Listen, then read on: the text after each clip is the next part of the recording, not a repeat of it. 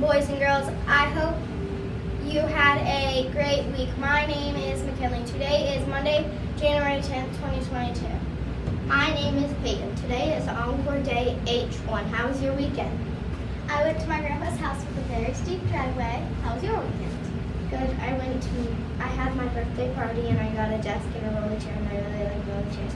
And I also got, my teacher got me this card for this Please stand for the Pledge of Allegiance.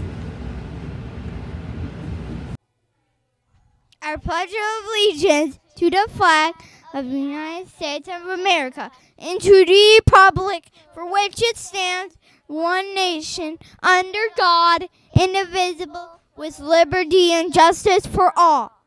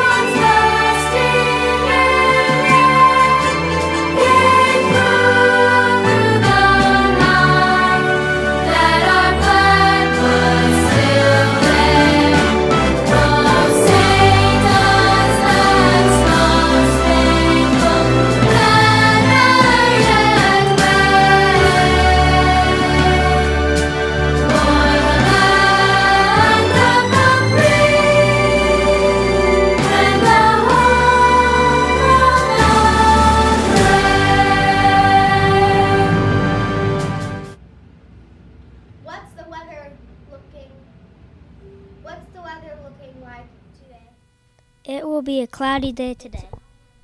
A bit of rain this morning and cooler weather is on the way.